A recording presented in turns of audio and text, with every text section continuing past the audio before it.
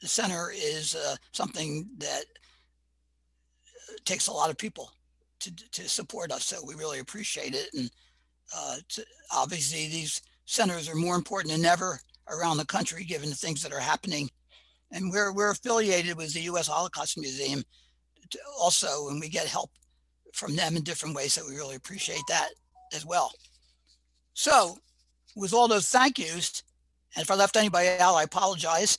I am very pleased to be able to introduce our presenter, Faris Cassell, who is going to be discussing her new book, The Unanswered Letter. This is an amazing work of research, which you may know just recently received two national first place prize, prize first placed prizes, one from the Jewish Book Council and the other from the Association of Journalists and Authors. So we can tell that it's very well appreciated by the professionals, you know, as well as uh, the reader, other readers. Um, Faris has been a writer for the Eugene, Oregon Register Guardian. I think I said that right. And um, she earned a BA bachelor's in history. I'm a history major, so I appreciate that from Mount Holyoke College in our area, even though she's out in Eugene, and where she got her MA uh, in journalism from the University of Oregon. So from one part of the country to the other. Uh, but she knows both areas. And um, she worked on this, this is her first book for a number of years. Um, also in uh, participating in the discussion is Ferd Wilkin, who lives in Western Mass, works at University of Massachusetts Amherst and as a union organizer. And as you will hear, he plays a pivotal role in the research that Faris was able to do that culminated in this great book. So I want to end my introduction by just quoting from a reviewer, a wonderful um, quote, which really encompasses what this book is all about. Uh, the reviewer says, a caring and compassionate journalist and writer, Cassell has crafted a highly engrossing, historically contextualized story of one family as she helps us grasp the enormity and complexity of the Holocaust. I don't think we can say anything more about this uh, book. Uh, and so, without further ado, introduce uh, Faris Cassell. Hi, thanks, Ron. Thanks, Gary, for, for all your work. I so much appreciate it. Um, this is the book about Ferd's family, about Liz Jan. Yes. This is a book about um, Ferd's extended family, definitely. No. Are we set here? Yeah. Okay. Um, so the, the book is The Unanswered Letter One Holocaust Family's Desperate Plea for Help. Um, it begins with a letter, actually, uh, that came into my life um, unexpectedly over about a decade over a decade ago now. It was written by a Viennese Jewish man, Alfred Berger, to strangers in America in August of 1939. August of 1939, um, historians among you may know, was um, just at the um, in the tense run up to the um, opening of World War II in Europe. So Alfred Berger had been underneath Nazi uh, occupation, Nazi rule for a year. And Jews were flooding out of Austria, trying to find a safe place um, to go. Countries had uh, slammed shut their door to the flood of refugees, and um, Alfred Berger was desperate. So he is writing to, he had no contacts in America who might offer him um, sponsorship to immigrate. So he's writing to a stranger, a stranger with the same last name, um, hoping that this stranger will have um, pity on him and um, and sponsor him.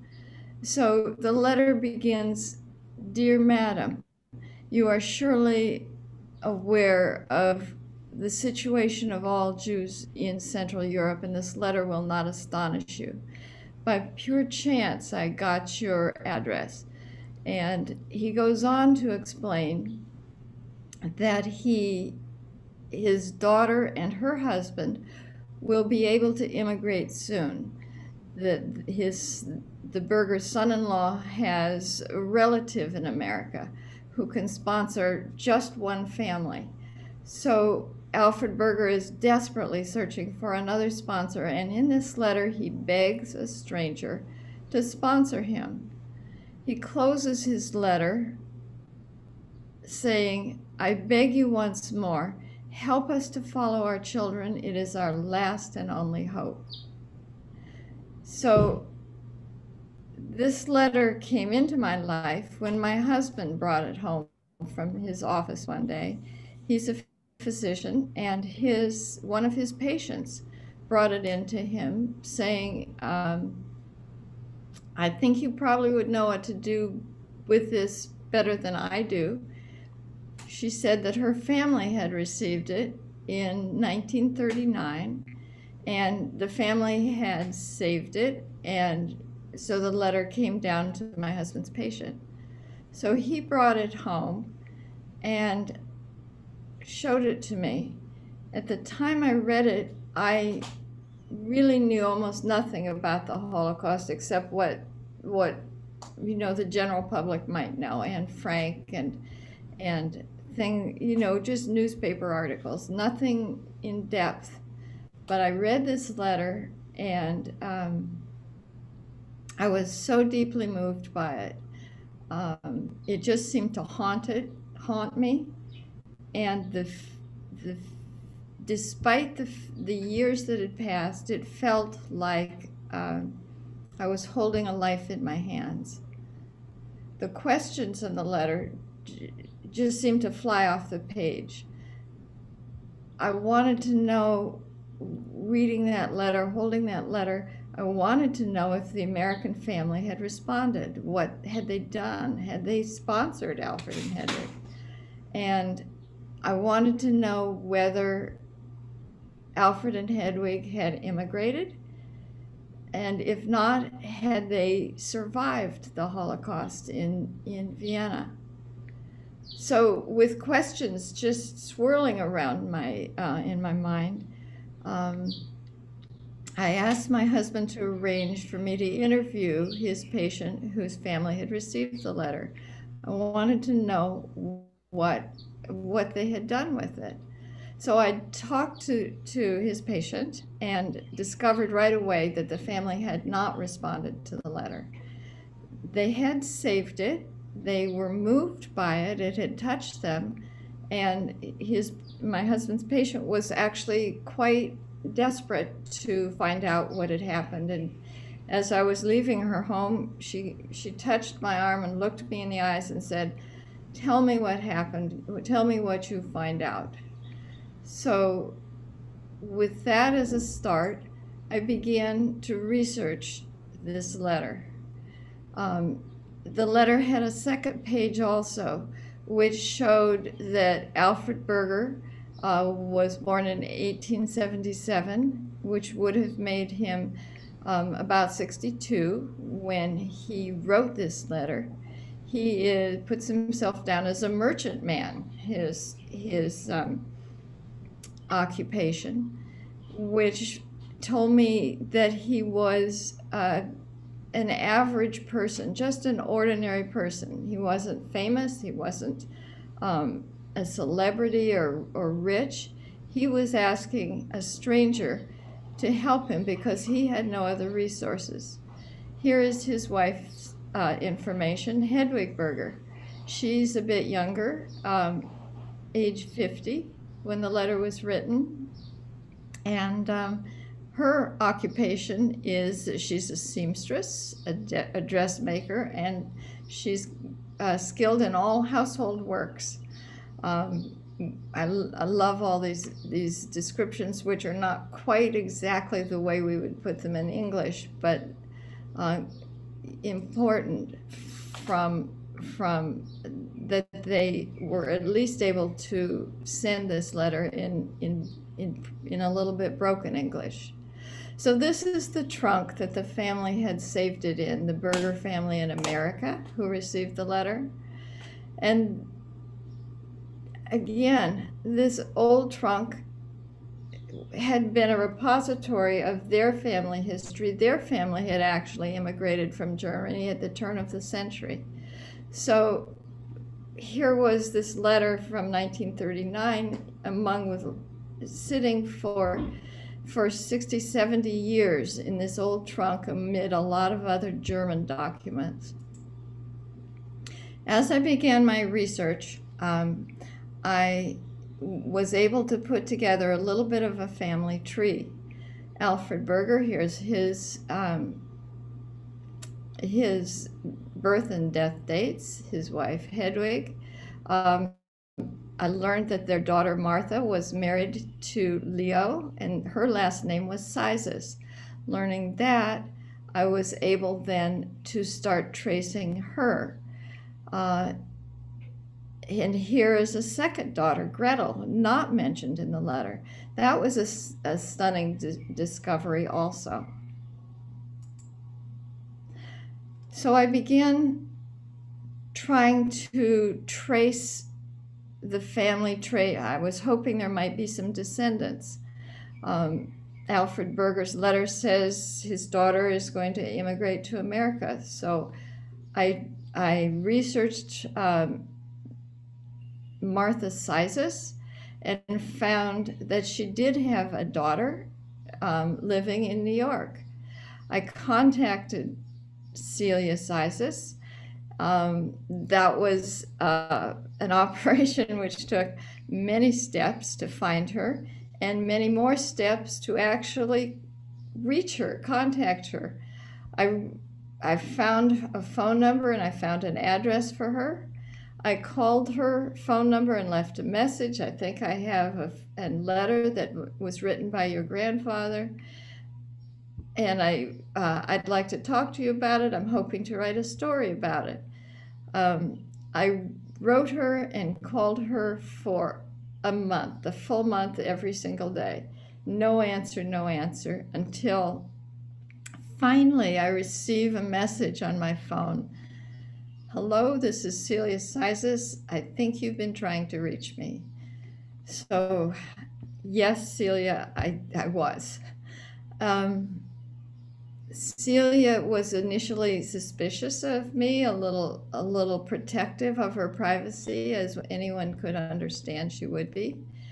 And um, slowly, slowly, as we talked, as I told her the information that I already had found out um, about her family, she began to trust me, and we became a team working together to uncover the story of her family that she did not know.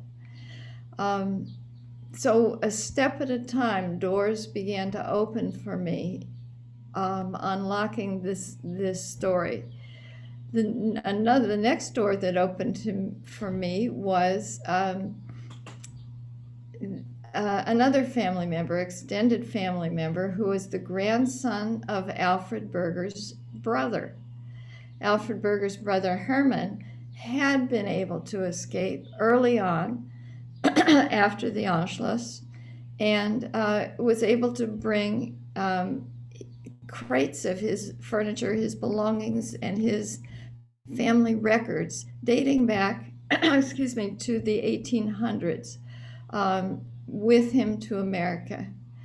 So, uh, able contacting Peter, who whose name was given to me as Peter, but whose name now is Ferd.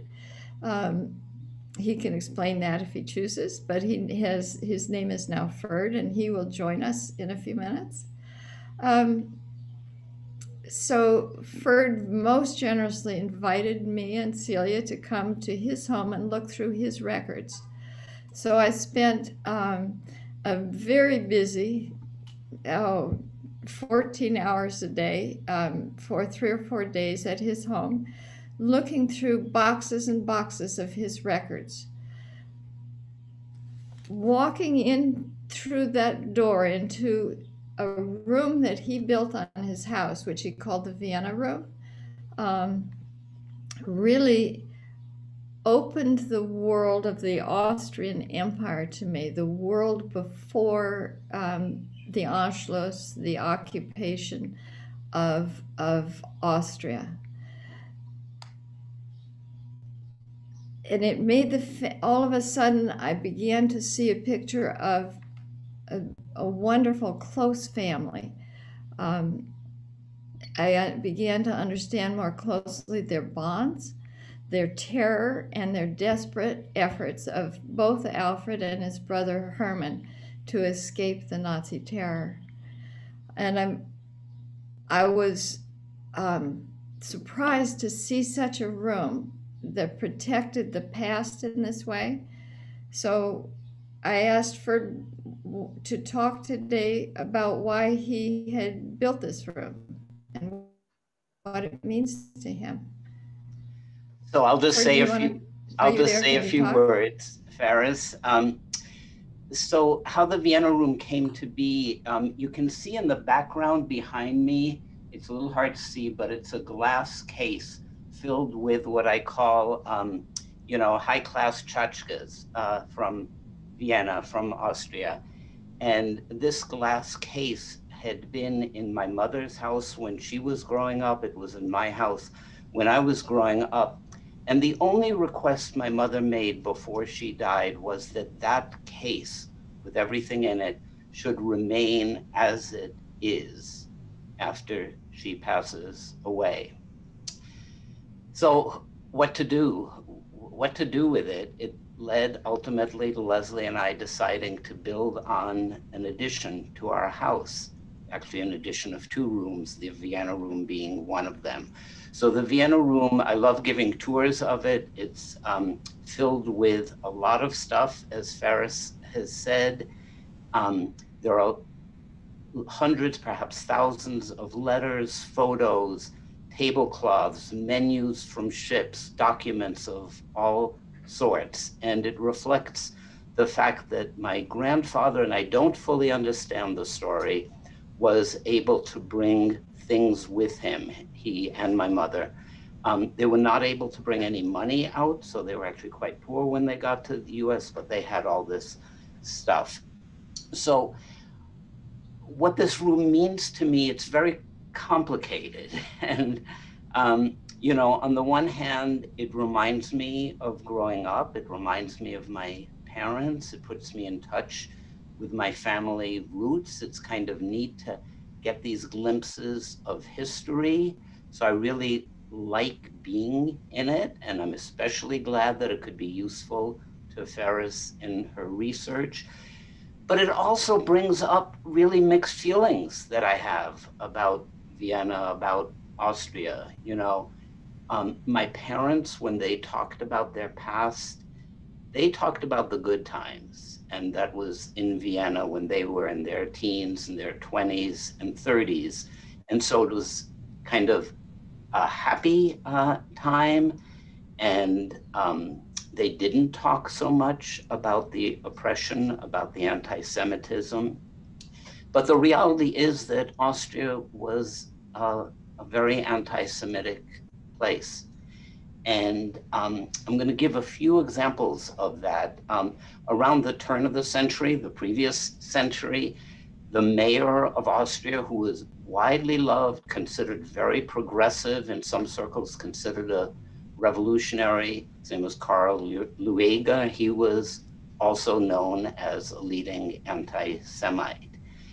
When the Nazis took over Austria in 1938 in the Anschluss, Austrians streamed out and welcomed uh, Hitler and the Nazis to the extent that Hitler was actually very surprised at the reception, the positive reception that he got. And then um, I'll just say a couple more things. In 1959, a uh, little over 20 years after my parents fled, we went back to Vienna. It was obviously my first time there. And on the first day in Vienna, my mother went out on one of the main streets by herself, and somebody who she didn't know, she didn't know anybody, just kind of purposely knocked into her and called her a shitty Jew. So this was now 15 years, 14 years after the end of World War II. And what my mother always said was Austria is too nice for the Austrians. So I heard that um, a lot. So, you know, as as circumstance would have it, it turned out that eventually um, Austria changed its line. They used to say they were the first victims of Nazism, which on one level was true, but on the other hand, um, as I said, they really welcomed the Nazis. But they eventually changed their line and um, acknowledged that um, they too were perpetrators. And so they made available uh, reparations and made available um, the possibility for descendants of people who fled because of religious persecution to uh, get Austrian citizenship. So, despite all my mixed feelings, I and my daughter actually applied for and received Austrian citizenship. So, we're dual citizens. And the reason is really just to open up some possibilities for her if she ever wants to work in the e- EU. But ironically, and this is the last thing I'll, I'll say, um, when Trump was in office and it looked like he might win a second term, Leslie and I, like lots of people, talked about can we really stay in this country? And lo and behold, we actually talked about, well, maybe we could flee in reverse and go uh, to Austria, where I'm a citizen. So lots of mixed feelings, but I just want to say how honored I am to be included in the book in this event and really just so grateful for Faris to for writing the book and helping me learn a lot more about my family. And if you haven't read the book yet you'll learn more about it too. So pass it back on to Faris. Thanks, thanks, Ferd, and and uh, yes, you were an amazing help. It was at your house that I found the first picture of um, Alfred Berger. Here he is in the background, um, standing behind Ferd's grandfather, Herman, his older brother, uh, with his siblings. Um, I think this picture is so interesting because each of the faces sort of reflects a different personality, um, as pictures will. Even this posed picture, you see Alfred Berger, I feel like looking very earnest, looking off into the future with some confidence um, and optimism. I would like to point out that he is the only one wearing glasses here, and they're already at, at this young age, which I'm thinking is about 15, 16, something in that area. Um, he's already wearing glasses. Those glasses would become thicker and thicker, and by the time he um, wrote the letter to America, he was legally blind. Here he is, a few years later, a few years later. Um, looking very dapper with Hedwig. I think this is an engagement photo. Um, Alfred has this fantastic flaring mustache. His glasses are a little darker, a um, little thicker. Um, Hedwig, I think, looks beautiful. She has a hairdo which would be very stylish even today.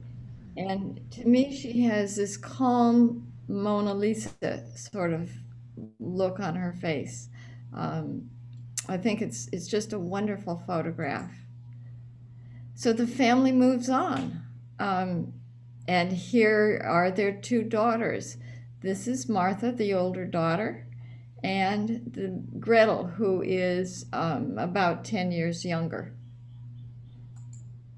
The family is is out for a walk here in the Vienna woods, a typical thing for a Viennese family to do on an afternoon is take a stroll in the Vienna woods. Um, this is, of course, before the Anschluss, which is the name given for the occupation of, um, of Austria by, by the Nazis. They, they still look like a happy, sweet family. Um, when I first received the letter, I had pictured in my own mind um, Alfred and Hedwig alone in Vienna, uh, fighting this this Nazi, struggling against this Nazi oppression. In fact, as I would learn, um, they had a large, ex- close, and warm extended family that saw each other frequently. Um, Ferd's grandfather doesn't happen to be in this picture that I have of a family gathering, but here is Alfred um, on, on the in the back row. Martha, probably about 20. Um, she was studying at this point to be a, a concert level pianist.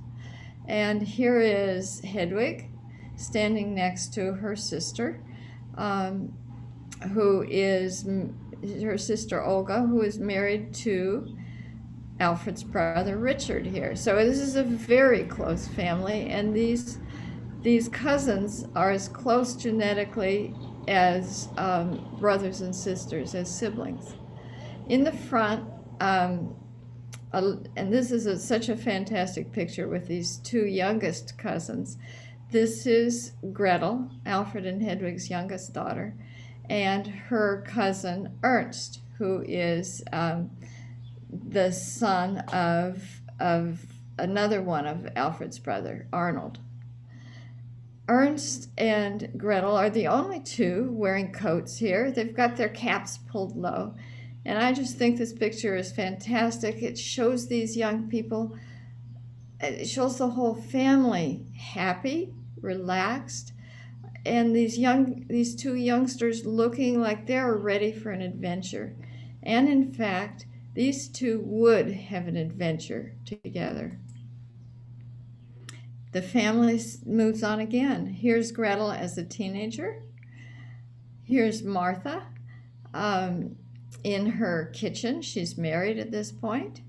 And here's her husband, Leo, in the background here, working on a painting. He was a, a wonderful um, painter, artist, as well as a very resourceful jack of all trades who worked um, selling wholesale goods, mostly leather goods that his family in Poland produced. This innocuous looking piece of paper, and I'm sorry it's it's a bit I'm sorry, um, it's a bit faded, uh, and it was faded when I came across it, a copy of it also. This is the young Ernst Berger, who we just saw in that picture as a child. Um,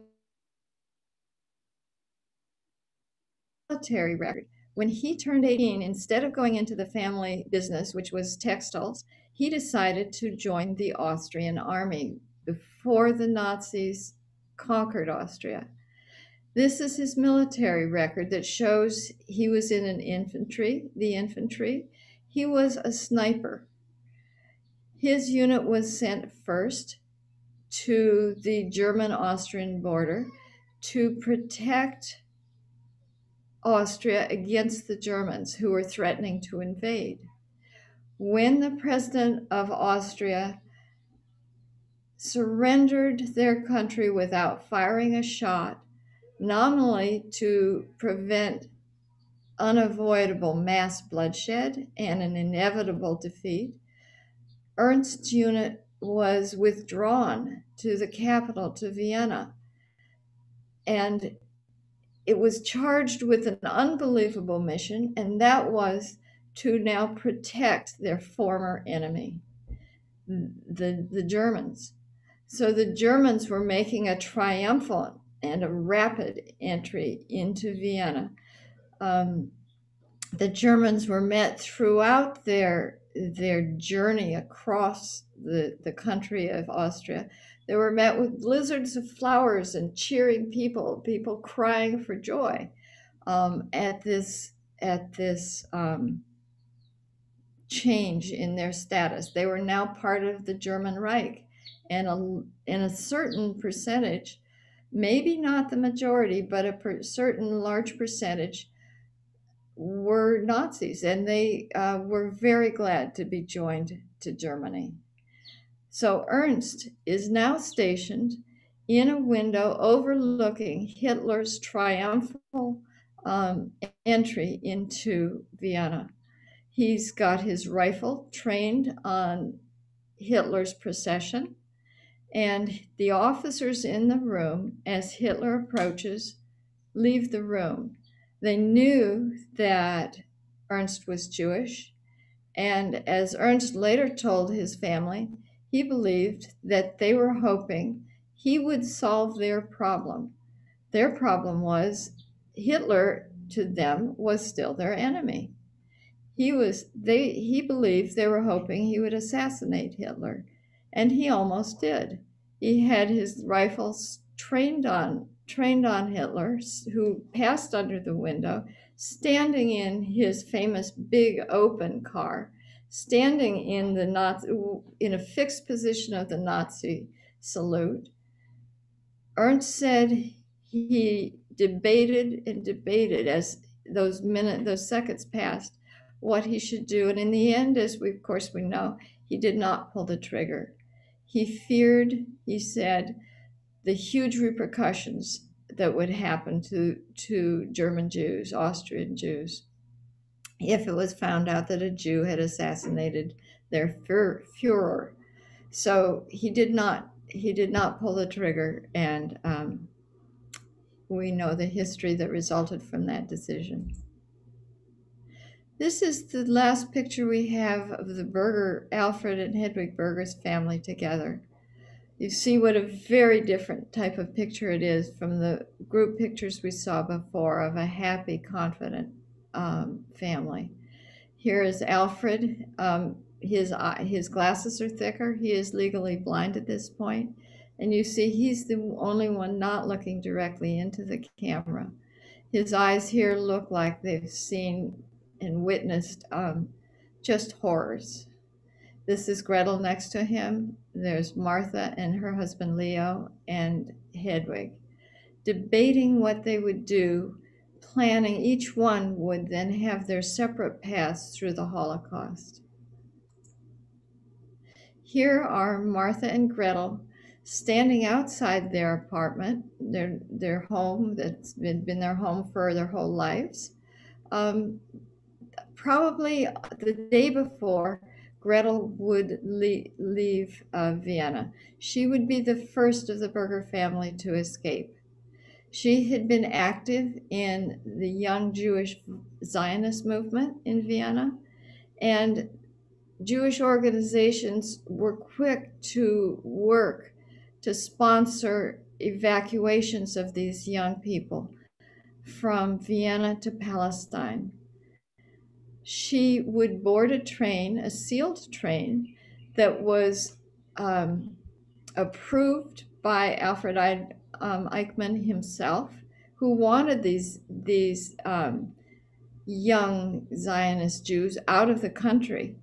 Um, so she and he, Alfred Eichmann, was at the train station watching and overseeing Gretel's departure. She traveled by the sealed train from Vienna down to Athens, Greece. And in Greece, she boarded, um, boarded a, she and, and the probably, oh, 400 other young Jews um, boarded a ship bound for Palestine. It was contracted with, uh, by a Jewish organization.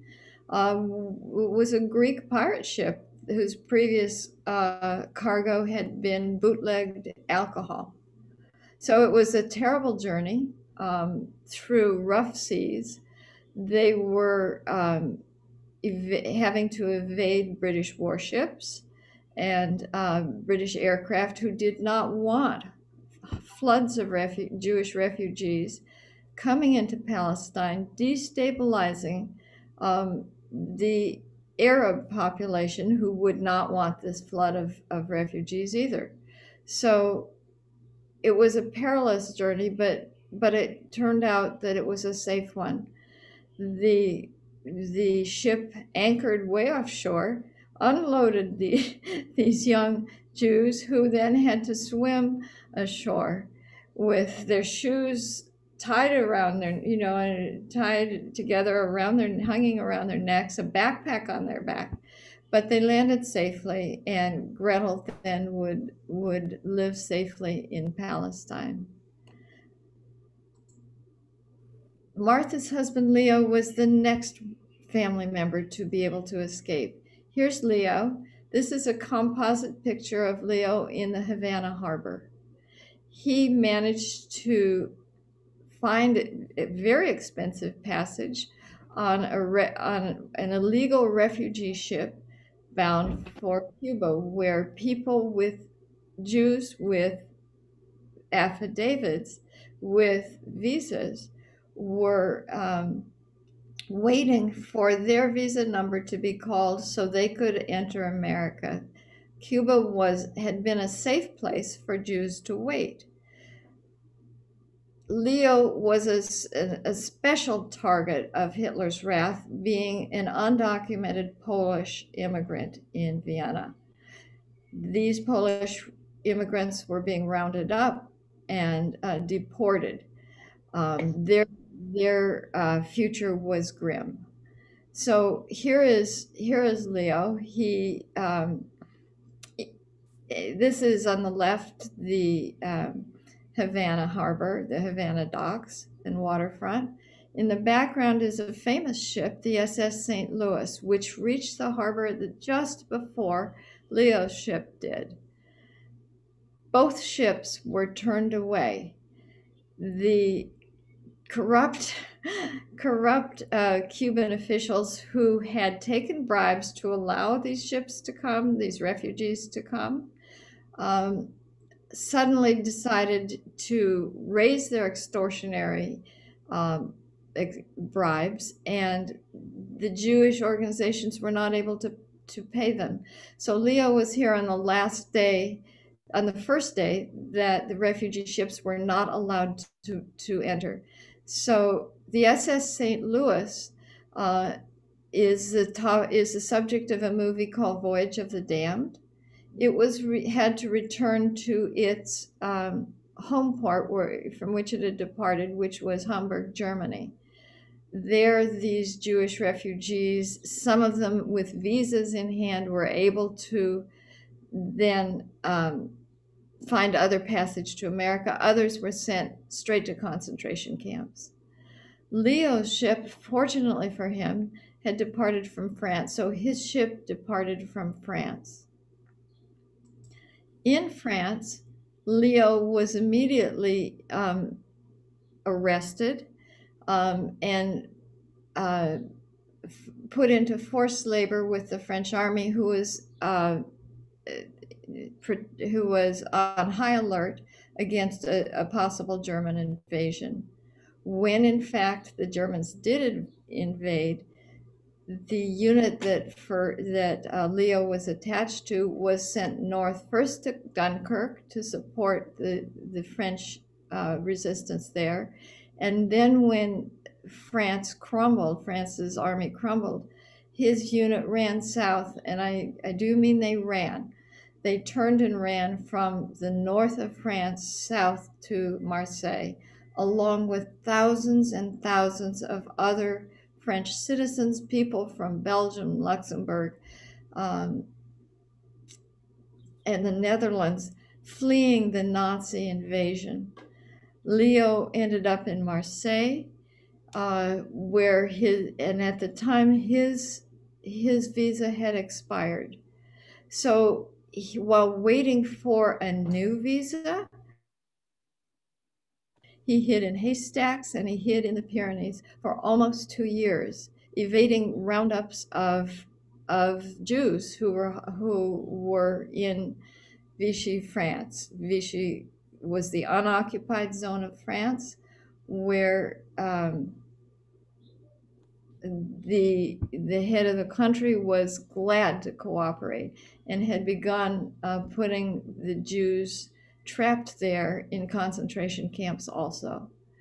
So Leo had another obstacle before he could um, reach America. Once his visa was renewed, he would be able to, he would then be faced with finding uh, transportation.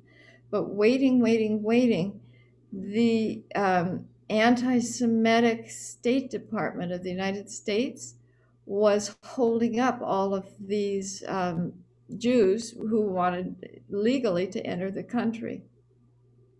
So Leo's paperwork was held up and held up for really a total of two years, as I said. Fortunately for Leo, there was a um, consul in Marseille who was signing the um, the visas and that would permit Jews to enter America. When Leo's turn finally came up to be um, to come in front of, of Hiram Bingham. Um, and he, so this is a very historic document. Hiram Bingham's uh, signature is on it. This is one of the last um, visas that um, Hiram Bingham signed when the State Department realized that they had a consul in Marseille who was permitting these Jews to enter legally. They transferred him to South America. His career was was essentially ended. So this was um, Leo's um, passport, as, as you might say, into America, signed the last day it would have been possible for him to receive it. Martha, meanwhile, had a visa also, and she had not been a special target as her husband was. So she uh, was able to reach America in um, in November of 1939, shortly after um, Alfred Berger wrote his letter. Here she is. She went down to the New York harbor time and time again looking for Leo to be on a ship. The mails were terrible, and um, she would receive a letter that had been written maybe three months earlier saying, my papers are in order. I'll be on this ship. And then Leo's plans would all fall apart and he would not be there. She waited time and time again. You can see this is um, there. You don't see anyone hanging over the rails here. This empty ship. Uh, she waited until the last person left. Leo was not aboard this ship. This is a ticket. This is uh, Martha's ticket aboard the SS Washington that did arrive, as you see, the, last, the end of October 1939. These are samples of letters that Martha would receive over years, over a period of years from 1939 to November of 1941 from her parents, Alfred and Hedwig in Vienna so I was able to see these letters uh, through the help and support of Celia Sizes, um, granddaughter of Alfred Hedwig, the daughter of Martha and Leo. You can see this letter from is one of the earlier letters. The handwriting is fairly neat. Um, lots of the curlicues that were that were typical of the uh, of the handwriting of the day. Um, don't we all miss handwritten documents? Yes, we did. Yes. Um, here's a later letter. You can see Hedwig's handwriting is still fairly good, but not what it oops, not what it used to be. Here's Alfred's letter, uh, his writing on the same letter. You can see how his vision has declined, and emotionally, probably he was not as as uh, secure and strong as he had been. Um, it's smudged, it's dark, it's practically unreadable. I had a terrible, really difficult time getting these letters translated, in large part because Alfred's head, handwriting was was so diminished. Oops, trying to to. I am sorry not the world's best tech person. Let me move this over to here so we can see. Um, this is a letter that Alfred wrote to Herman Ferd's grandfather, Alfred's brother. He was able to say in this letter to his brother things that he wouldn't say to his daughter. Um, the, the letters from Alfred and Hedwig to Martha were, were really unbelievably cheerful. They did not say, because of censors, um, exactly what was happening to them. There were hints you had to read behind, between the lines, and you had to know what was happening all around them to decode what they were saying. But the letter to Herman has a shocking statement. I'm glad to report that Hedwig has returned from Nordhausen. When I was able to have this letter translated, I realized that Hedwig had been uh, deported herself uh, as forced labor in a concentration camp in Germany. At the time she was working there, it was really just a factory. She was um, she was not beaten. She was not mistreated, other than treated as forced labor. Uh, she was packing medicine in in pills, in pill bottles. Um, Alfred, with his blindness, he's, he had become legally blind, was able amazingly to petition the Nazi authorities to bring her back because he would need um, her assistance to live. So, Alfred's blindness, which was such a handicap for so much of his life, turned out to have saved um, Hedwig from staying at Nordhausen, which would soon become a deadly camp where people were worked to death and the death rate was simply staggering. It was just a, a place from hell. Alfred and Hedwig Berger, these are uh, this is a portrait that Leo painted from that that picture of them around the table. The picture, and this is Hedwig. Um, I don't have a late picture of her that showed what she was really like um, at the end of the time, her time in in um, Vienna. She and Alfred would both meet their fates, different fates, at the hands of the Nazis. Um, and you can see, especially from Alfred's face, the um, the the terror and the struggle, the the burdens that they were under, the grief that they were suffering.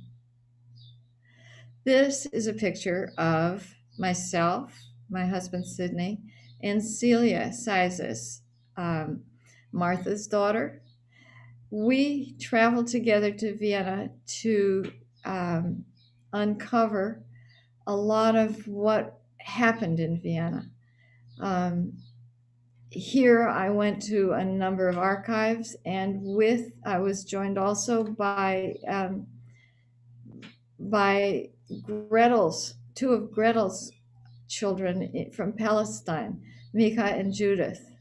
They um, together we walked the streets where their grandparents had had lived. We went to the apartments that Alfred and Hedwig lived in as they were pushed from one to the next and the next, increasingly more crowded and pushed together with other Jews until they were uh, put in Vienna's ghetto without walls, from which they could not um, they could not leave. It was it was guarded, but it was not fenced. Ferd, do you want to talk here or a little later again?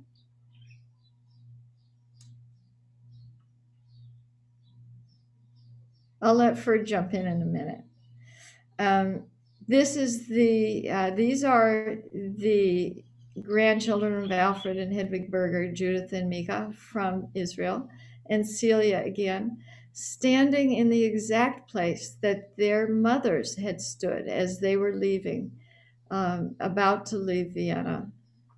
This is the, their apartment building here. Um, these are not happy faces, although they did try to look happy. This was a very mixed experience, very bitter, and also um, somehow very satisfying for these grandchildren who had not really known their grandparents' story. Celia had known some. Um, Mika and Judith knew nothing.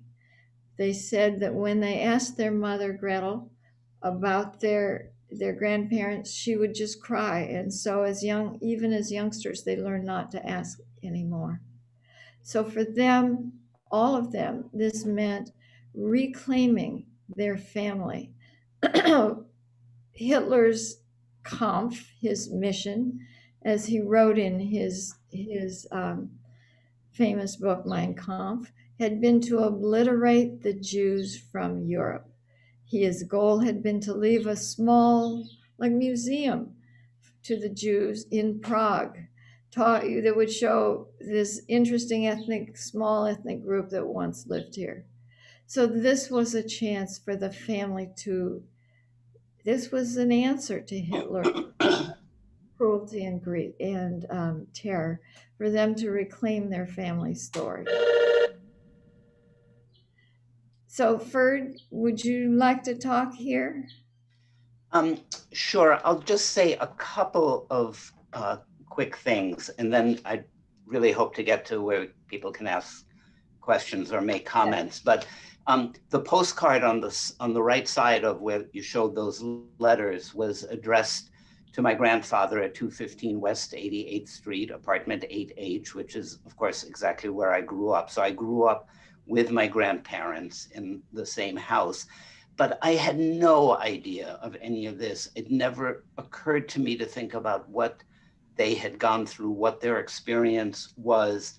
And that's why I was so um, excited to, after my mother died and I went through all these boxes and things, I found a lot of poetry that my grandfather had written. It was mostly in German, but there was this one really moving poem that I'd like to read that's in English and that is really about what his experience of being a refugee. And I think it's really timely given the incredible flood of refugees all over the world now. It's only going to get worse with climate change. We have to understand how to treat refugees respectfully. So I'll just read this poem very quickly. It's called That's All They Brought Along. And he wrote this in 1941 at a time when he probably did not yet know what actually had happened to his siblings. So one of his siblings did escape and the other three did not, including Alfred.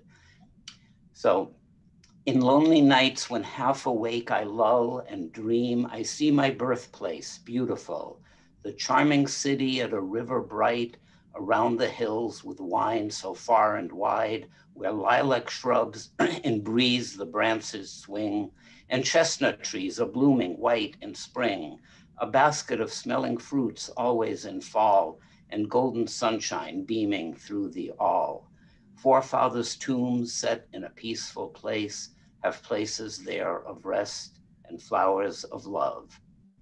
Suddenly a gale is rushing o'er the lands, it violently tears from roots the plants, and by its power it makes growing weeds where love has flourished, sprouts the hatred seeds. Mischief escaping men left goods and chattels, but flying the pursuits through troubles and battles, picked up the scattered corns of love divine, saving them carefully in a holy shrine came to these shores, that's all they brought along, trusting the sacred seed may prove so strong to yield anew in this blessed country's soil, the ground once plowed and tilled by pilgrims' toil. So far from east to west that longer stands in this sunball than other lands, spreading across a giant flag its beams, where towns are stars and stripes the fields and streams. O country, don't as aliens receive the persecuted brethren who believe what brought along in shrine as sacrifice may hundredfold in fertile soil arise.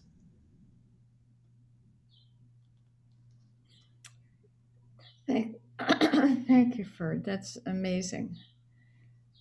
It takes you back to old Vienna and then to his longing for it. So I started out my my quest to understand what had happened to Alfred and Hedwig Berger with a certain set of questions. I ended up when I finished this book with a whole different set of questions, much deeper and much more far reaching. Um, this the, the Berger story. Ah, sorry again, trying to move that there. Um, the Berger story, the Holocaust was a huge and complicated event. It involved millions of millions of people, not just as victims, but as perpetrators or as so called bystanders, people who passively did nothing. So there are so many questions that the story raises, but some that I uh, am, you know, I'm bothered with myself. Um, relating to Alfred and Hedwig's story in particular is what would I have done if I had lived in America in 1939 and received Alfred Berger's letter? Would I have, how would I have responded? Would I have just put it away? Would I have thrown it away? Or would I have reached out, risking um, what I might have felt like my own security? Um, remember, 1939 was just a decade past uh, the Great Depression, and unemployment was still at times around 20%, something our generation's never experienced. So I have to try to put myself back in, in that position. What would I have done then? But what would I do now if I received such a letter? And I don't know that I have a good answer.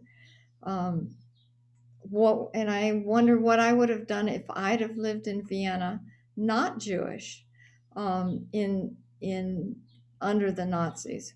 Would I have been passive and allowed things to go on, hoping not to have been murdered myself, as as many uh, Viennese were, who protested against the Nazis? What would I have done? Um, I don't have an answer, but it's a question that really reverberates. Um, with us today. Um, what and you wonder what can I do to to affect world events. Um, I think probably the Bergers who received this letter in America felt like they probably couldn't do much of anything. They probably felt like I don't believe they thought it was a crank letter or they wouldn't have saved it. I think they felt like they couldn't really make a big difference. They didn't believe in themselves as agents of empowered to affect these big events in the world. And yet they could have, they could have saved some lives. So the questions um, resonate with me and stay with me. I don't have answers, but I think they're important questions that arise from the book, among others, among many others.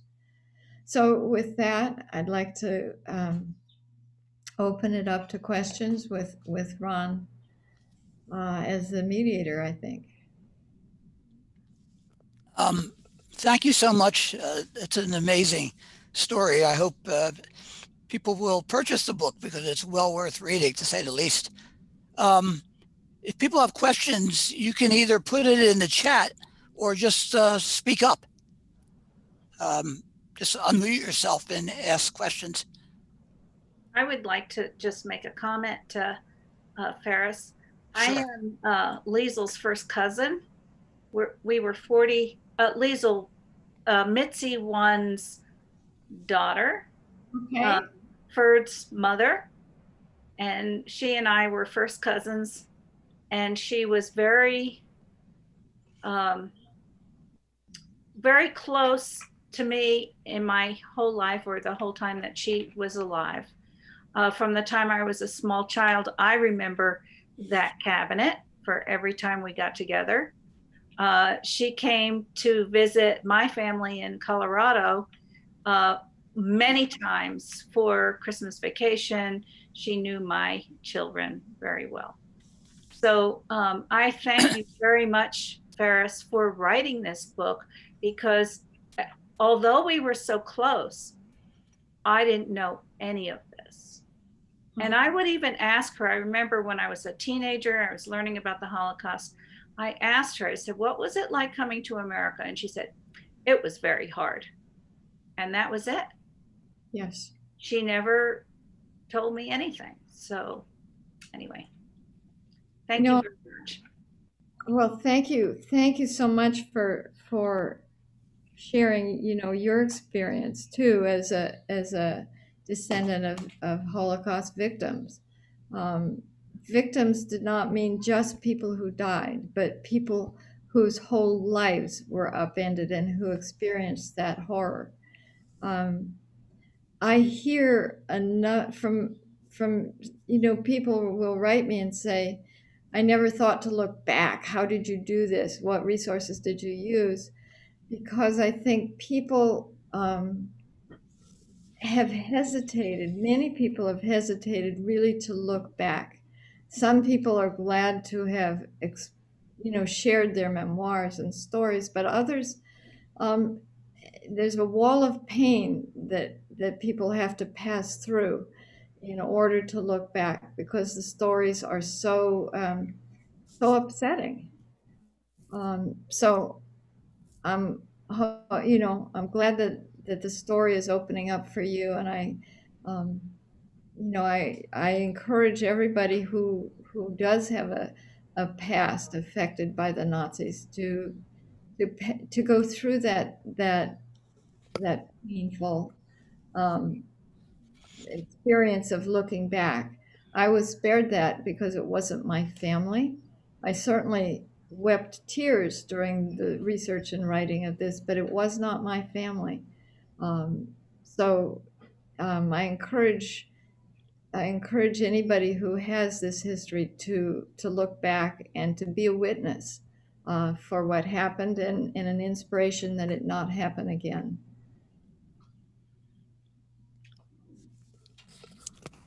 Um, other comments or questions?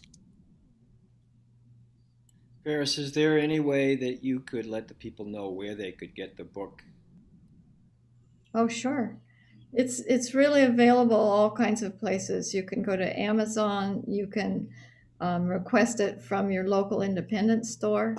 It's um, cost. It's coming out in paperback in early June, and Costco will have a lot of copies of it. And um, you know, it's Barnes and Noble has it. It's really going to. It is widely available now, and um, and the price is going down of the hardback copy as the paperback comes comes um, you know the date of that release i think is the 8th of june so it's available really everywhere where books are sold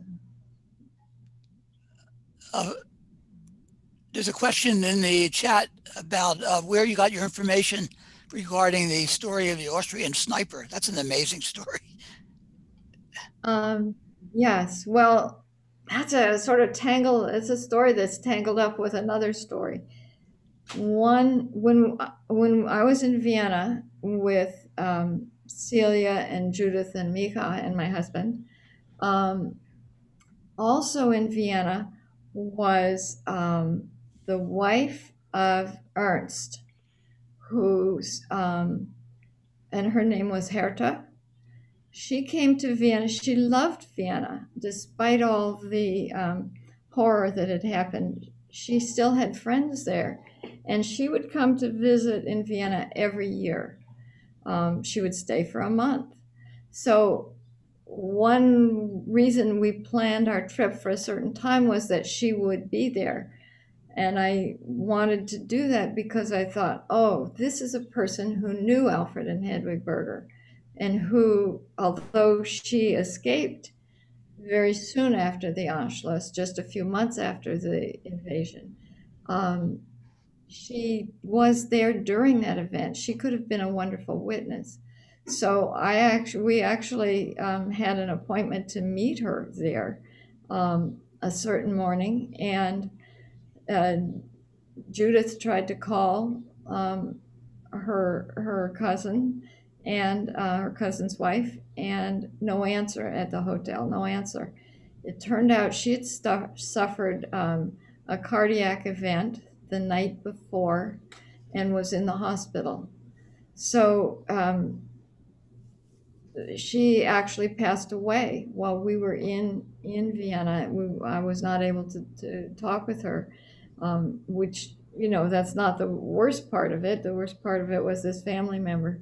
You know, the family lost a, a dear member, but um, then her son, when she was in the hospital, her son Amnon, who lived in Brazil, um, because that's where one part of the family had fled to um, flew from Vienna to from Brazil to Vienna to um, be with his mother in the hospital, and he was there in time to be with her.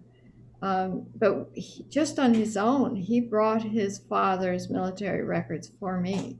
So it was a very thoughtful and um, generous um, act on his part to have copied his his um, father's record and, and he gave it to me and and told me that story which you know his father had told him So, uh, see if I understand. Um, His this is a Le- Leo's uh, son. no no no so there are a lot of characters in this book and i had Right. a long it took a while to keep every everything straight and it took me a very long time to figure out how to how to write about so many characters. That was something i wasn't um, accustomed to doing. I was accustomed to newspaper you know short short pieces and tight deadlines. So um, um, let's see. Ernst was the cousin you saw in in the picture the big family picture on the steps with his arm around gretel. Right. ernst grew up um, in and then he fled with gretel to palestine his brother willie had gone to um, brazil uh, he'd gone over the alps like you know like the sound of music family um, and then ended up in Brazil. So um, Ernst's, let's see, Herta's grandson Amnon um, came to Vienna when she was in the hospital, and he brought these papers. So it was it was Ernst's son who brought me those papers and told me the story. Oh, okay. Connected. Uh, another question, which is, I guess, a basic one too, is how did both of them die? That is, they said, how did this beautiful couple pass away? Alfred and Hedwig. Yeah. So I sort of avoid telling that so that people can read the book and find out. Um, and I think I'll I'll stick with my with my idea that I won't tell that part of the story. Um, they had different deaths. Alfred died in Vienna, um, and Hedwig was deported. So I will I will say that much without details. Okay. They didn't survive, obviously, as we know, They did not survive. but their children did. That was amazing. Yes, their two daughters did survive. So, uh, other other questions, comments? I have a question. I would like very much to get a recording of this because I have relatives in Australia who are part of this family as well that we are in touch with. And they were trying to get online. I don't know if they were, but it's like six in the morning for them. Um, and um, my children were all working who couldn't uh, attend. So I really would like to um, and oh, by the way, your your book did go to Australia and has made the rounds in the family in Australia. Oh, that's amazing. I'll Yeah. let Ron answer that, and then I have something to say about Australia. Okay. Um, Gary, you want to respond to? th-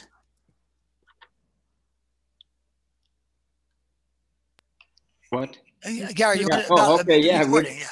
We're being recorded as we speak. So, I mean, how can she? How can they get copies of the of the recordings? Uh, I should have their emails. I should be able to send them an email, and I'll send them a code. If not, they can go to the Bristol Community College uh, website. It'll be on there. Anybody in the world can get on there. So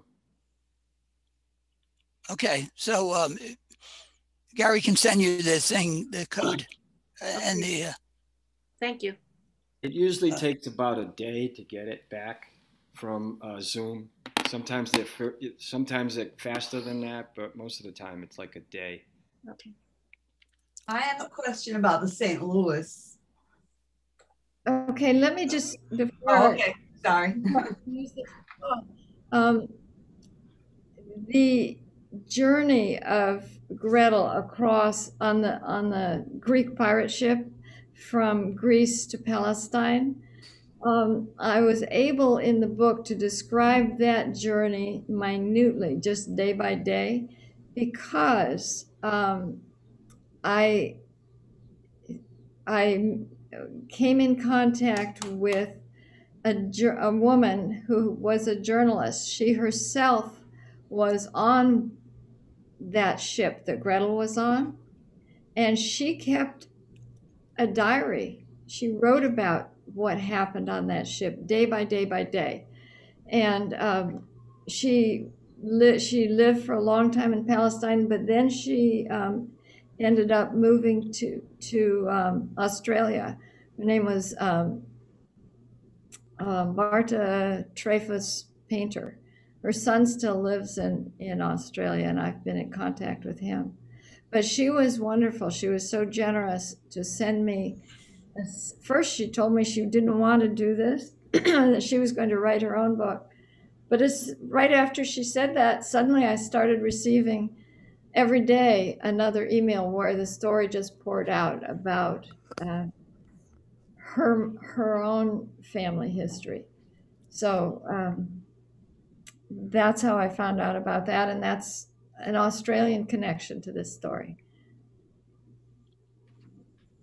Thanks. um, somebody has a question. Are you still in touch with Celia? Oh yes, yes. Celia and I became friends, and as did the Israeli grandchildren, and um, so I talk to her, you know, regularly.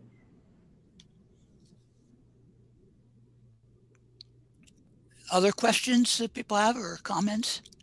I have one on the St. Louis. Okay, I think um, the author mentioned something about some of the people, if I understood it right, did go to America and and of course how the um, some, of course, if not most, went to a concentration camp. So I have an article from the the BCC, no, not BCC, BBC.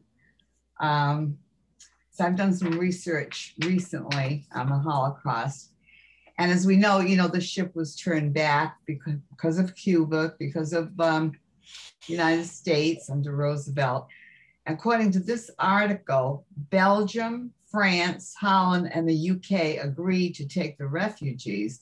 The American Jewish Joint Distribution Committee posted a cash guarantee of $500,000 or $8 million in today's money as part of an agreement to cover any associated costs. But we all know, you know, that the Nazis took over these countries. And it says 254 passengers from the St. Louis were killed as the Nazis swept across Western Europe. But Yeah. but America, I don't know. Maybe some. I never heard personally that any did go to America after the incident. They may have, if they had, if they had valid visas, um, they they may have, um, and I think that story is, you know, historically um, a, a major piece of Holocaust history, and so it's Yeah. um, it's available to find out how many went to which places. But that ship, after it sat in the harbor for a number of days, Yeah. um, negotiating between the, the Jewish organization in America and the Yeah. Cuban Cuban government. It went up the coast of America trying to find any port that would allow it. Yeah. And it went up I'm not sure if it went up as far as Canada, but then it also went down um, into Central America. Nobody would take these Right.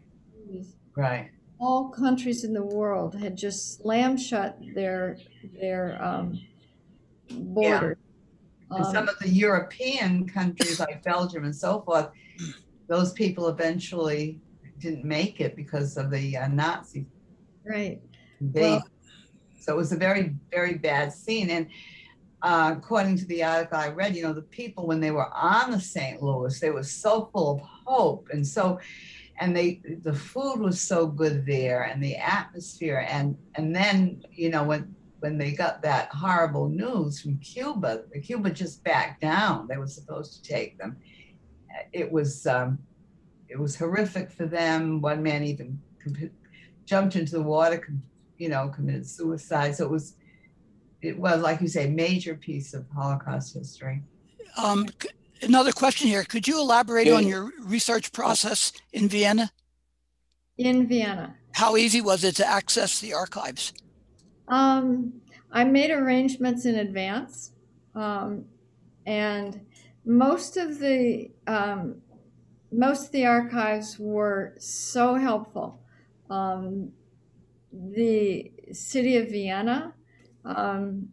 I had been in touch with a certain archivist who handled these more historic records, and he was just wonderful. He gave me records of um, the whole family where did they live so i was able to trace the family's movements around the town and um, even today citizens of vienna are required to register in a way that americans are not if they move from one apartment to the next they go to their local registration office which is it always was a police office a neighborhood police department and just write down where you moved, who's with you. In, in 1939, you know, and forever, people had to write their religion, your your profession. Um, so those records were enormously helpful, as was the archive.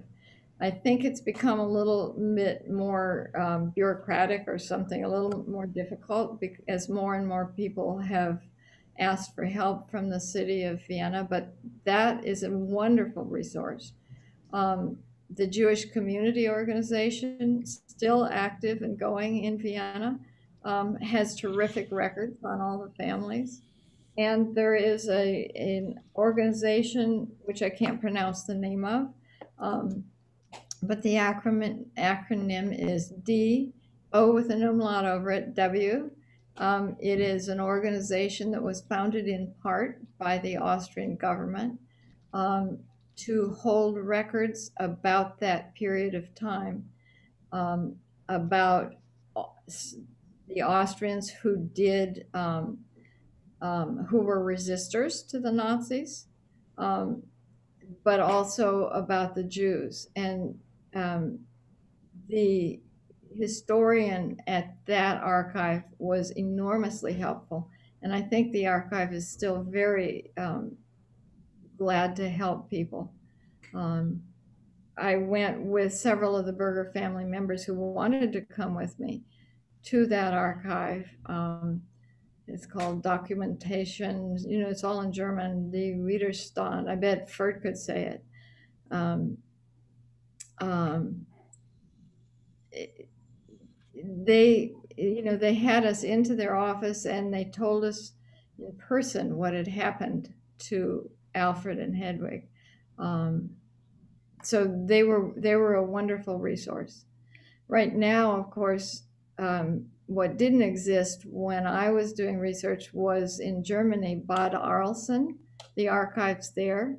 It's B A A R E L S E N, I think, or S O N, um, has collected a huge amount of the um, records of the camps and all the SS operations. So it's an enormous resource, um, which may now be digitized. Can you um, say that first name again? The first? Of Bad Arlsen, Yes. Can you spell B A that? B A D. Thank I think it's named after the area it is. Bad means like bath. Um, so it's a city where there were, you know, like health, health, health baths, you know, mineral springs and all. So Bad Arlson, A R E L S O N or S E N.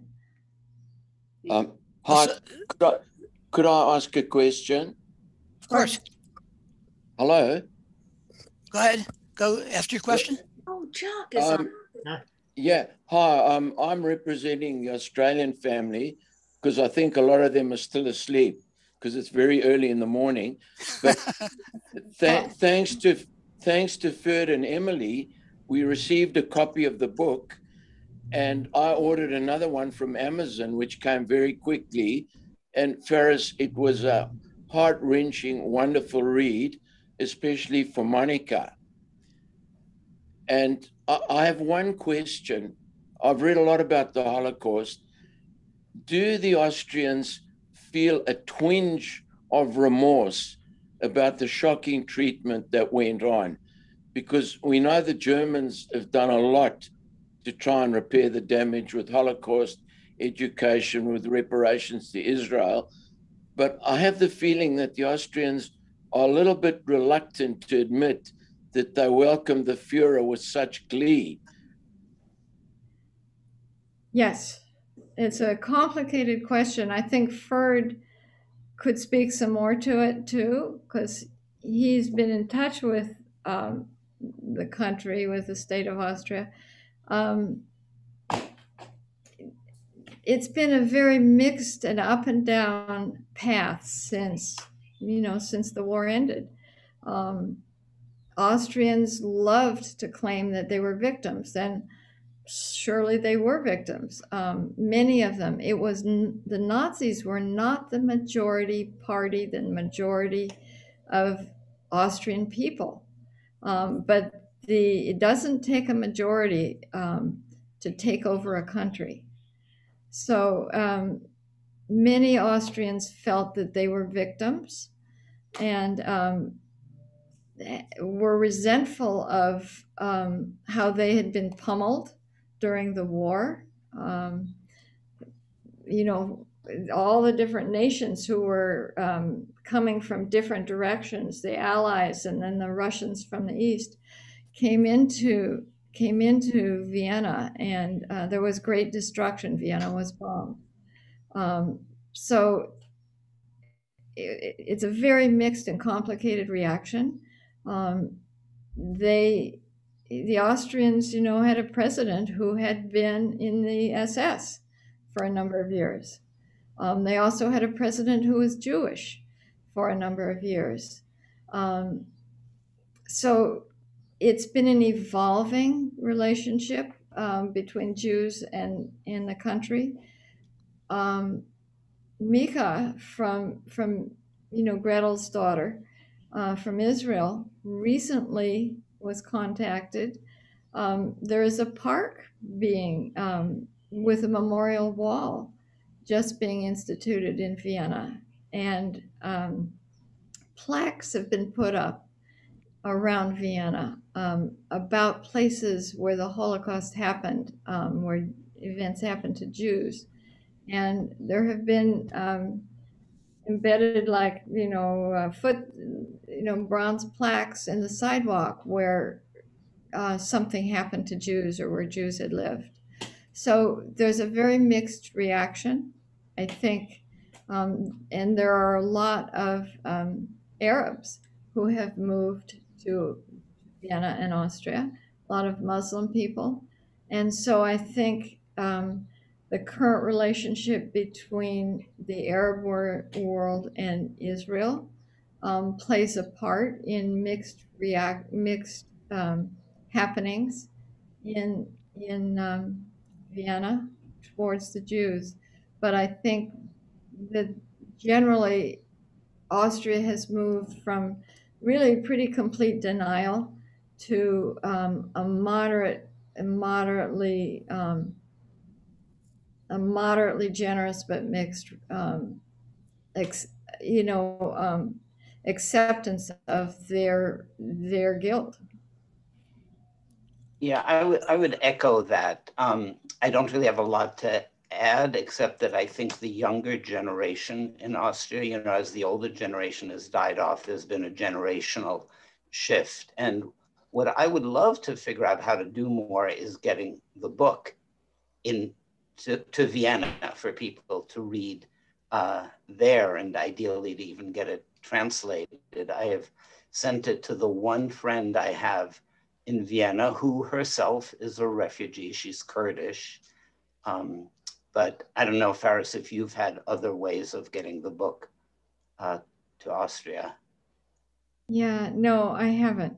Um, and as a as an indication, an example of how Austrians have, like Germany, um, have um, reacted to their past and to, you know, those who have a, a feeling of guilt.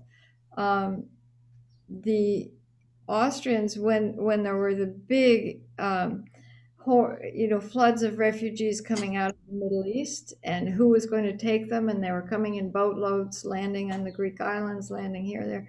Austria, while America closed its doors um, to, to most of those refugees, um, Austria took a much higher percentage for their population, much higher percentage than we did.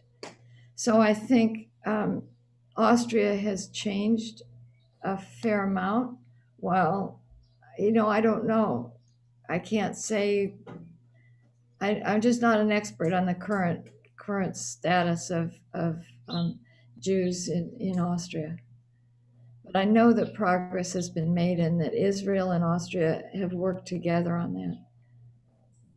I think Francis had a question. Uh, Can you hear me? yes, Hi, I'm curious to ask Faris if your professional trajectory has changed after doing this kind of research and writing. good question. um, I I may be starting on another book that relates to the Holocaust. Actually, So you're on a new journey. So Thank we you. can- So we can get you back uh, at some point, Faris, once your book is finished? maybe a while, but it won't be it won't be the decade that this book took me. Okay. We hope we'll be able to get you in person when we, uh, you could do book signing. Good, yeah. Who knows? That time may be coming. I hope so. Yes. Don't. Somebody, well, we'll t- somebody mentioned in the chat that uh, phys- Jewish physicians who left uh, Europe and came to the United States had a hard time with the American Medical Association uh, willing to uh, accept them. So uh, that may have occurred with other professions as well. I know there were people who were able to teach, especially in southern, like uh, um, uh, African American colleges. They got positions, some of the professors in those places, but it's not easy to be a refugee. Americans um, believed at that time, many Americans believed in this whole theory of eugenics, which was sort of um, genetically different races. There's a hierarchy of races, and some really were more superior than others. And um, the Jews were considered a separate race from the Western Europeans who, you know, who dominated the culture. Um, and there was terrific anti-Semitism um, in the country for for many many years. Yeah, that's true.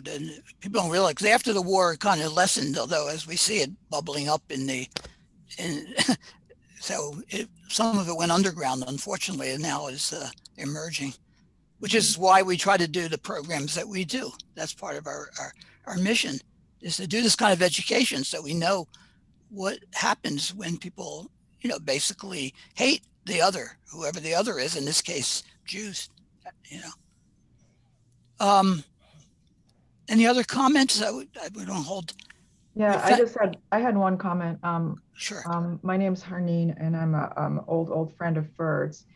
And, um, I read the book and I just, um, you know, it felt like it read like a, uh, you know, kind of a horrific thriller in some ways. Like I just couldn't put it down towards the end. And, um, I am just so amazed at all the documents that you were able to access. And knowing Ferd, I guess I shouldn't be surprised that so much was available um, and that um, Ferd has so much from his family. But it must have been just uh, kind of an amazing experience to connect with him and realize that all those documents were existed. And that combined with the letters kind of back and forth during those last that last you know kind of year and a half i guess um, in the family i mean i don't know. I mean it just i thought it was you did an incredible job at telling the story and using um, you know this very these original painful documents that told kind of of the the horror and the fear and the sadness and the pain and the loss. And i mean following leo was like oh my god you know i couldn't believe he left. He got out. And like every corner every you know every angle was like a dead end and kept trying. And um you know it's certainly you know i mean just on a a personal level, I just feel like, I mean, I haven't talked to Ferd about it, but there you are, Ferd, I'm looking at you. I mean, I just feel like as your friend, like it just, you know, the history then of families, you know, I'm Jewish, I have, you know, my own Jewish history of people coming here and when, but I don't, but it, the, the kind of trauma I think that this series of events then passes down in generations that families grow up with. Um, of their own parents and grandparents and the loss and the trauma they suffered and just how it gets absorbed. And it just was incredibly moved. And um, you know thank you for writing it for thank you for your work on it. And um, i really just you know i don't have really much else to say. I just wanted to i'm happy to be here and, and hear you Faris um, and just acknowledge what a, a gift it is to be able to bring to light kind of this in such a personal way this story which is just one family one one yeah. family of, of millions. And so anyway just wanted to just to share that. So thank you. That's why these stories are so important because yeah. they do make the holocaust real and i, I do want to say too that um, I kind of thought that I was pretty much done with my research at one point. Um, at one point, which turned out to be fairly early in, in my research, um, when I got a call from Celia um, saying, Oh my God, you won't believe what I found. And what she had found was um, a, the suitcase, several suitcases full of letters the letters that Alfred and Hedwig wrote um, to Martha. Um, and that, you know, that was a real turning point. Celia had shared with me a lot of documents and photos, but I had felt that Alfred and Hedwig were still um, not real people. I didn't know them well. Their voices weren't, you know, I couldn't write from from yeah. anything that would approach their feelings. I could try to do it, but it was not authentic. And then she found these letters, and so I um, I do want to say that that was a, um, a huge part of of the book too, finding you know a hundred or more letters um, from Alfred and Hedwig themselves to America. Um, Ferd's letters were incredible, and Ferd's fa- grandfather Herman also he he was a very um, high-ranking official, both in the textile industry and also he had a I don't know what you would call it kind of post um, representing his in his industry in the city of Vienna, um, and was used to keeping very careful records and so he even had like Ferd showed me financial records that Herman kept that showed how he was able to help support family members who were not as well off during this time, hoping that they would be able to um, um, use that to escape. So there's a lot of lot of connections having to do with with records that um, I I was just so fortunate people had had saved Herman as you know as well as um, the, you know the letters that Martha Berger saved. That's why it's important to save these these letters and pictures and photographs because that's our connection with the past. Um, well, anyway, you know, we could I want to thank you so much um, for uh, for this presentation and for your book, and thank you Ferd for your participation. Thank you, Gary, Judy, everybody here. Um, and uh, it was a gr- uh, great way of uh, finishing our series in in this spring this spring and um, i'm sure more people will then get a little more in depth after they read your book but Yeah. Uh, good luck on all that and Thanks, thanks so much, Ron and, and Gary, for your work. It's very important, and and we all benefit from it. Thank you for your work. yeah Right. really Thank you for your inspiration. Many people in the chat are thanking you and, and feeling you know appreciate the work And I really want to thank, I want to thank my friends and family who took the time to be on this uh, call. That's really means a lot to me. Well, good. We're glad we were able to provide that. that means, um, and again, uh, this is all be recorded so people can uh, be uh, seeing it again, or those who missed it will be Yeah. able to hear it again. That's Yeah. the wonderful thing about this. Uh, I- even though I like to do things in person, and we do video tape when we do things in person, so we do have a record as well. But this is a good way of keeping it. So, um, Great. Again, thank you so much. I hope uh, someday to uh, do you give do you give tours of the Vienna room? No. You say no? Uh, Not yes. during the pandemic, Oh yeah, not to. but otherwise, yes. oh, all right. Good. We'll have, to, Otherwise, yes. we'll have to come down the, north- the western. I'd Mass- love it if you came, Ron. Oh, I'd be happy to do that, and uh, some of it, some of us will come. All right. Anyway, Yeah. thank you so much, everybody. Thank you, Ron. Have a good night. Thank you, Ron. Enjoy Thank the rest of your time in. Thank uh, you, everybody. It was very, Thank very, you. very much